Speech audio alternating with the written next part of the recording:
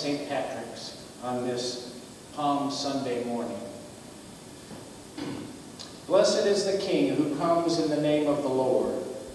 Peace in heaven and glory in highest. Let us pray. Assist us mercifully with your help, O Lord God of our salvation, that we may enter with joy upon the contemplation of those mighty acts, whereby you have given us life and immortality through Jesus Christ our Lord. Amen. The Gospel of Matthew. When Jesus and his disciples had come near Jerusalem and had reached Bethphage at the Mount of Olives, Jesus sent two disciples, saying to them, Go into the village ahead of you, and immediately you will find a donkey tied and a colt with her. Untie them and bring them to me. If anyone says anything to you, just say this, the Lord needs them, and he will send them immediately. This took place to fulfill what had been spoken through the prophet, saying, Tell the daughter of Zion, Look, your king is coming to you, humble and mounted on a donkey and on a colt, the foal of a donkey. The disciples went and did as Jesus had directed them. They brought the donkey and the colt and put their cloaks on them, and he sat on them. Very large crowd spread their cloaks on the road, and others cut branches from the trees and spread them on the road. The crowds that went ahead of him and that followed were shouting, Hosanna, son to the Son of David. Blessed is the one who comes in the name of the Lord. Hosanna in the highest heaven. When he entered Jerusalem, the whole city was in turmoil, asking, Who is this? The crowds were saying, This is the prophet Jesus from Nazareth in Galilee. The word of the Lord. Thanks be to God. The Lord be with you. And also with you. Let us give thanks to the Lord our God. It is right to give you thanks and praise. It is right to praise you, Almighty God, for the acts of love by which you have redeemed us through your Son, Jesus Christ our Lord.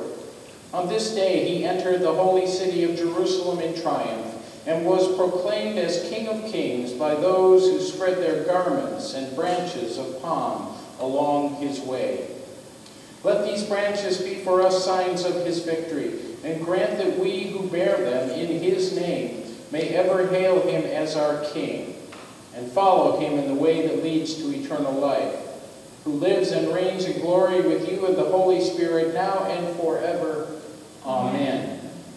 Let us go forth in peace. In the name of Christ.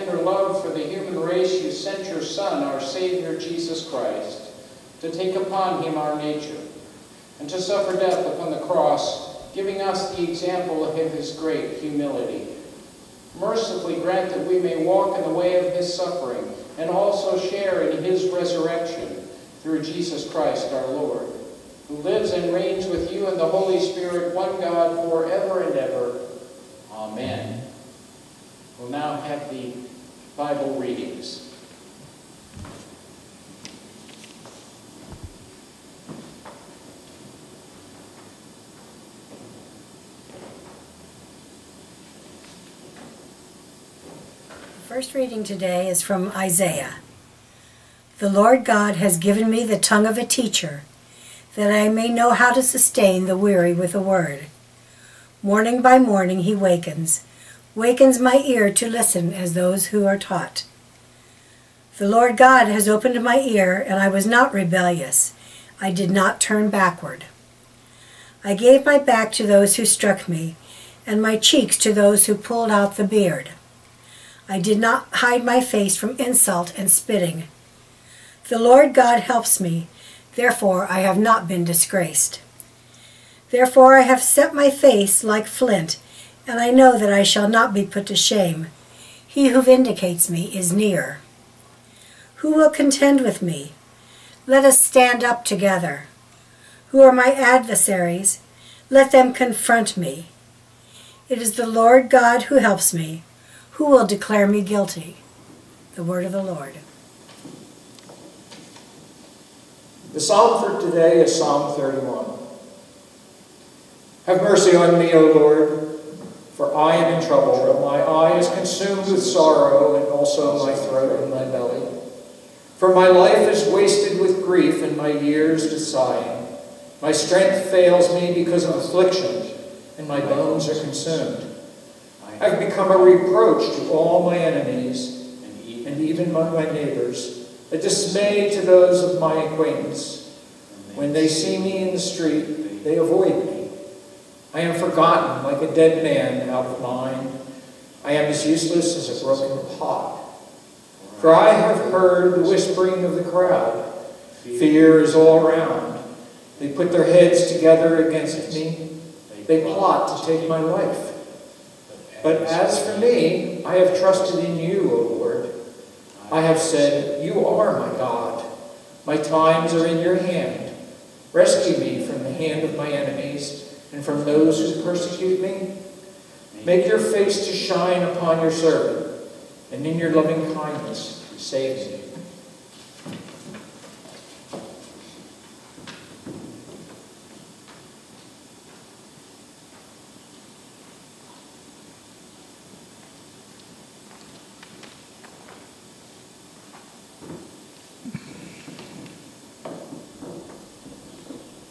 Our New Testament reading this morning is from Philippians. Let the same mind be in you that was in Christ Jesus, who though he was in the form of God, did not regard equality with God as something to be exploited, but emptied himself, taking the form of a slave, being born in human likeness. And being found in human form, he humbled himself and became obedient to the point of death, even death on a cross. Therefore God also highly exalted him and gave him the name that is above every name, so that at the name of Jesus every knee should bend in heaven and on earth and under the earth, and every tongue should confess that Jesus Christ is Lord, to the glory of God the Father. The word of the Lord. Thanks be to God.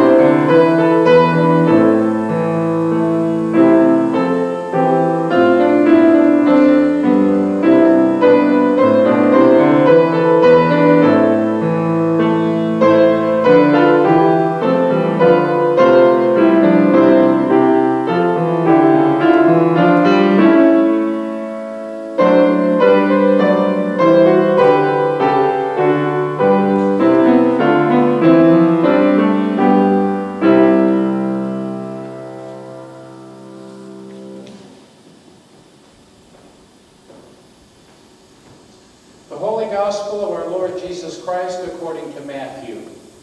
Glory to you, Lord Christ.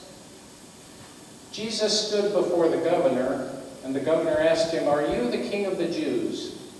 Jesus said, You may say so. But when he was accused by the chief priests and elders, he did not answer. Then Pilate said to him, Do you not hear how many accusations they make against you? But he gave him no answer, not even to a simple charge, so that the governor was greatly amazed. Now at the festival, the governor was accustomed to release a prisoner for the crowd, anyone whom they wanted. At that time, they had a notorious prisoner called Jesus Barabbas. So after they had gathered, Pilate said to them, Whom do you want me to release for you? Jesus Barabbas or Jesus who is called the Messiah? For he realized that it was out of jealousy that they had handed him over. While he was sitting on the judgment seat, his wife sent word to him, Have nothing to do with this innocent man, for today I have suffered a great deal because of a dream about him. Now the chief priests and the elders persuaded the crowds to ask for Barabbas and to have Jesus killed. The governor again said to him, to, to them, Which of the two do you want me to release for you? And they said, Barabbas. Pilate said to them, Then what should I do with Jesus, who is called the Messiah? All of them said, Let him be crucified. Then he asked, Why? What evil has he done? But they shouted all the more, Let him be crucified. So when Pilate saw that he could do nothing, but rather that a riot was beginning, he took some water and washed his hands before the crowd, saying, I am innocent of this man's blood. See to it yourselves. Then the people as a whole answered, His blood be on us and on our children. So he released Barabbas for them, and after flogging Jesus, he handed him over to be crucified. Then the soldiers of the governor took Jesus into the governor's headquarters, and they gathered the whole cohort around him. They stripped him and put a scarlet robe on him, and after twisting some thorns into a crown, they put it on his head. They put a reed in his right hand and knelt before him and mocked him, saying, Hail, King of the Jews! They spat on him and took the reed and struck him on the head. After mocking him, they stripped him of the robe and put his own clothes on him. Then they led him away to crucify him. As they went out, they came upon a man from Cyrene named Simon. They compelled this man to carry his cross. And when they came to a place called Golgotha, which means place of a skull, they offered him wine to drink, mixed with gall. But when he tasted it, he would not drink. And when they had crucified him, they divided his clothes among themselves by casting lots. Then they sat down there and kept watch over him. Over his head they put the charge against him, which read, This is Jesus, the King of the Jews. Then two bandits were crucified with him, one on his right and one on his left. Those who passed by derided him, shaking their heads and saying, You who would destroy the temple and build it in three days, save yourself. If you are the Son of God, come down from the cross. In the same way, the chief priests also, along with the scribes and elders, were mocking him, saying, He saved others, he cannot save himself. He is the King of Israel. Let him come down from the cross now, and we will believe in him. He trusts in God. Let God deliver him now, if he wants to. For he said, I am God's son. The bandits who were crucified with him also taunted him in the same way. From noon on, darkness came over the whole land until three in the afternoon. And about three o'clock, Jesus cried with a loud voice, Eli, Eli, lama sabachthani. That is, my God, my God, why have you forsaken me? When some of the bystanders heard it, they said, This man is calling for Elijah. At once one of them ran and got a sponge, filled it with sour wine, put it on a stick, and gave it to him to drink. But the other said, Wait, let us see whether Elijah will come to save him. And Jesus cried again with a loud voice and breathed his last. At that moment, the curtain of the temple was torn in two from top to bottom. The earth shook, and the rocks were split. The tombs also were opened, many bodies of the saints who had fallen asleep were raised. After his resurrection, they came out of the tombs and entered the holy city and appeared to many. Now when the centurion and those with him who were keeping watch over Jesus saw the earthquake and what took place, they were terrified and said, Truly, this man was God's Son. The Gospel of the Lord. Praise to Praise to you, you, Lord. In the name of the Father, and the Son, and the Holy Spirit. Amen. My God, my God, why have you forsaken me? Today we celebrate Palm Sunday, that day when we remember the time when Jesus entered Jerusalem in triumph, when people laid palms and coats under the donkey upon which he rode in celebration of his being the Messiah. These were people who had been awakened to the truth that Jesus was the Son of God, and they came to worship him and to be close to him in thanksgiving for the gifts they had received. We call Palm Sunday the beginning of Holy Week. Holy Week is that time between Christmas, between Palm Sunday and Easter when we remember the events as described by Matthew that led to Jesus' death on the cross. You may wonder why we call this week Holy Week. Why not Easter Sunday through the following Sunday when the resurrection occurs and Jesus appears to his disciples and the beginning of a new age is started. We celebrate this particular week as Holy Week because it is the culmination of God's work in this world to bring people into God's kingdom. This is the week when, once again, God shows us the way to eternal life. Over and over again, since the beginning of time, since the creation, God has called us to be His children, to follow His commandments. Over and over again, He has tried to show us the way into His kingdom. Over and over again, He has tried to show us how to escape the suffering and fear that we encounter in this world and to be able to live a life knowing that God is with us always. At the beginning of time, when human beings first came into existence, there was something within us which caused us to rebel against God. There was this desire within ourselves to control our own fate and to not listen to our Creator, to the words that He proclaimed, to the path He offered to life and eternal life. Abraham was taught by God to abandon sacrifice, human sacrifice and animal sacrifice, and instead to make his life a sacrifice to God. He was taught by God that what God wanted was for Abraham to be a holy person, to be a believer in God. And in return, God said, if you will follow me, your descendants will be greater than the number of stars in the sky.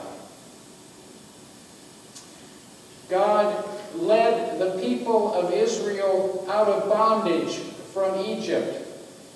And when they had entered into the wilderness and gained their freedom, he said, Follow these Ten Commandments, and you will prosper, and you will live under my protection forever.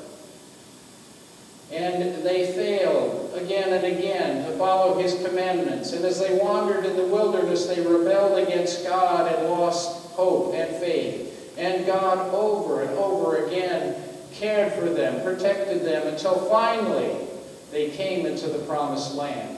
And God said, you will have your own nation. My people, you will have your own nation. And if you follow my commandments, you will prosper, and I will protect you forever. But corruption and self-serving idolatry took over the people of Israel, and their nation fell into ruin, and was conquered by others, and the nation was lost.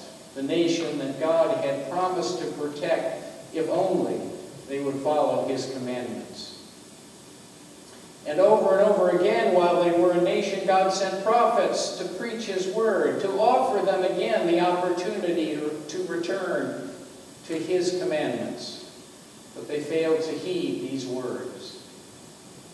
And now, on Holy Week, we see that God decided that the only way he could convince us of his love and his offer of freedom from suffering in this world was for himself to come and be a human being, to suffer and die as one of us. And so we celebrate this week, this week that we call Holy Week, because we walk with God as he suffers and dies. We walk with God as he feels the same pain and longing that we feel. We walk with God as He stands beside us to tell us that He too has felt all of the pain and the suffering that we have felt. And that He is with us in that suffering and will turn that suffering into an eternal victory. If we will but do two things, we will be part of God's kingdom If we love God with our whole heart, mind, and soul, and if we love our neighbors as ourselves, we will be protected and cared for by God for all eternity. There's something else that we learn from this Holy Week, from this march to the cross that God makes himself. And it is that our institutions that bind us together are infected with the same idolatry and self-serving needs that we as individuals are.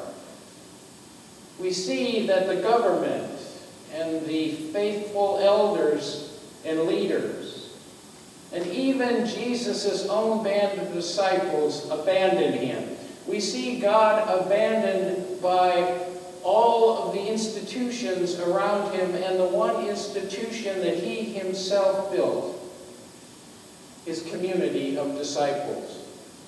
We see that even institutions can be self-serving and can drive us away from God.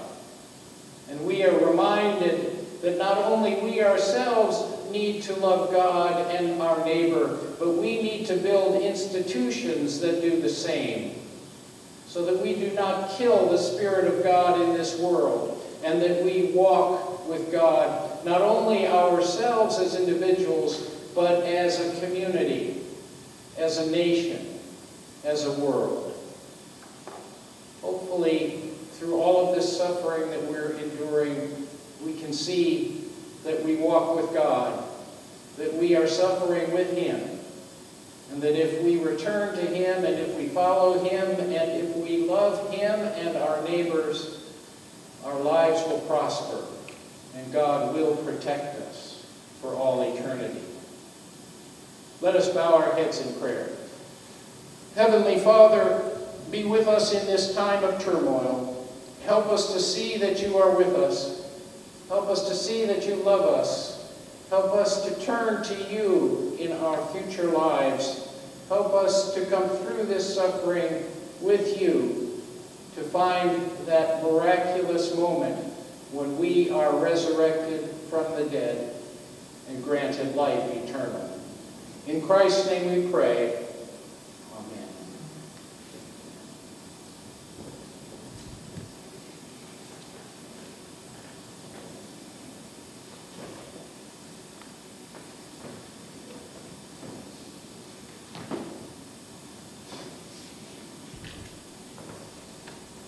Let us say together the words of our faith as they are written in the Nicene Creed. We believe in one God, the Father, the Almighty, maker of heaven and earth, of all that is seen and unseen.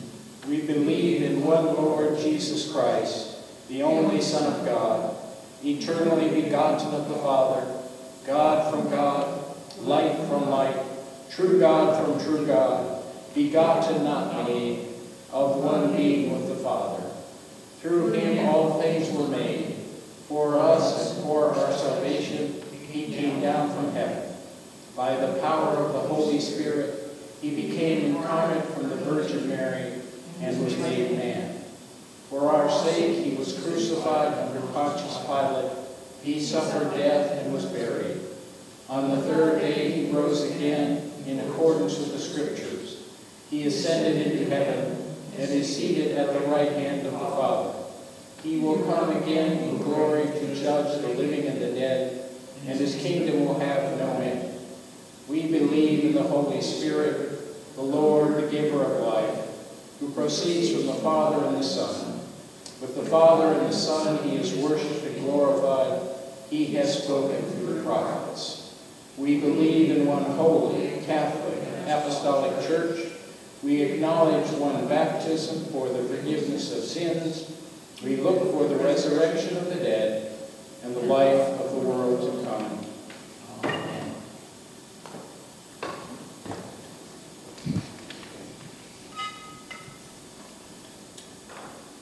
God the Father, God the Son, God the Holy Spirit, Holy Trinity, one God. Most merciful God, we come to you in the time of anxiety and uncertainty surrounding the outbreak of COVID-19. As the sorrows of our heart and mind increase, we beseech you to save us from all trouble and fear. Cast away all works of darkness. Be our rock, a castle to keep us safe. For the Lord is our, is our stronghold and sure defense, and he will be our Savior. For all who have died, receive them into the arms of your mercy. Grant them eternal peace, and surround those who mourn with your healing grace. For those directly infected with the virus, help them recover in good health and restore them in body, mind, and spirit. For those at high risk of infection, especially the elderly, those with underlying illnesses, the marginalized, and the poor, keep them healthy and free from all sickness. For those in quarantine, the shut-in, and the infirm, help them find peace, keep them in good health, and renew their mind and spirit. For all hospitals, doctors, nurses, and staff, protect them as they minister to the sick. Relieve all stress and provide the resources and space to meet the needs of all the infirm. For first responders, guard them from all harm and grant them strength and courage as they respond to all calls for help. For service industry workers and those forced to work as their community shuts down, keep them healthy. Bestow the resources to best care for themselves and their families and assure them in times of financial and medical anxiety. For those experiencing financial loss and uncertainty of resources, have mercy on them. Alleviate any fear and provide them, provide for them daily bread and wage. For the leaders of this nation and the world, help them make sound and safe decisions to best secure the future of our planet. For all schools, students, teachers, administrators, and school staff, as schools remain open, keep them healthy and in good spirits to learn. As schools close, feed those who will go hungry without guaranteed meals and shelter all students who have no place to live. For all scientists and those working to find a cure, inspire them towards your truth and help them discover and disseminate a vaccine and cure. For all media and journalists, protect them from all harm in their reporting and move them to be a vector of truth and certainty and never fear or panic. For all places of worship, embolden them to be beacons of hope and love and help us to gather however and wherever we can, be it in person or online, to give you praise. For the leaders of our church, help them minister to their flock, fortify them to be faithful pastors, to persevere in prayer, and to build up the family of God in new and creative ways. For the young, spare them from harm and fear, and keep them joyful. Keep them a joyful sign of your love and light. For all parents, build them, build in them strength and fortitude for the time ahead, and give them the words and witness to be wise counselors and compassionate caregivers. For calm amidst the storm, as the waves toss our boat and wonder, and we wonder, do you not care? Remind us to not be afraid, that with you all things are possible, and that even the wind and sea obey you. Stir up in us a spirit of compassion and tenacity for the time ahead. Move us to check in with loved ones at high risk of infection and those in quarantine. Ease our fear and anxiety, that we may share our resources rather than hoard them and extend a helping hand to those in need. Inspire us to share the good news of your love and hope.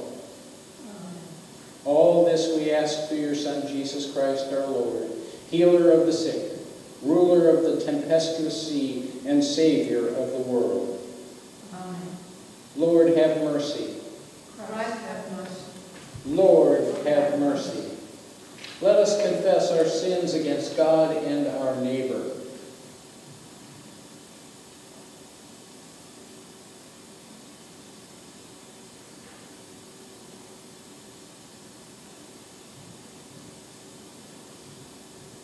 Most merciful God, we confess that we have sinned against you in thought, word, and deed, by what we have done and by what we have left undone. We have not loved you with our whole heart. We have not loved our neighbors as ourselves. We are truly sorry and we humbly repent. For the sake of your Son, Jesus Christ, have mercy on us and forgive us, that we may delight in your will and walk in your ways to the glory of your name. Amen.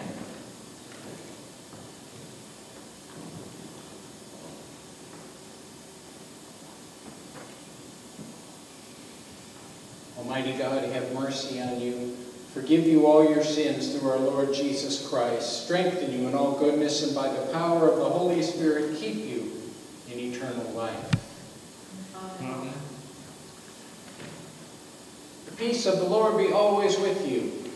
And also with you.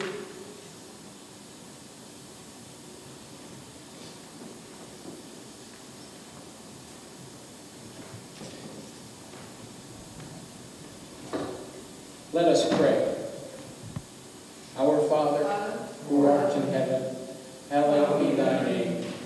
Thy kingdom come, thy will be done, on earth as it is in heaven.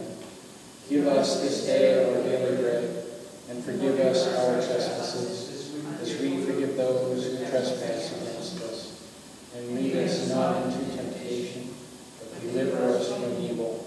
For thine is the kingdom, and the power, and the glory, forever and ever. Eternal God, Heavenly Father, you have graciously accepted us as living members of your Son, our Savior, Jesus Christ. And you have fed us with spiritual food in the sacrament of his body and blood. Send us now into the world in peace, and grant us strength and courage to love and serve you with gladness and singleness of heart, through Christ our Lord. Amen.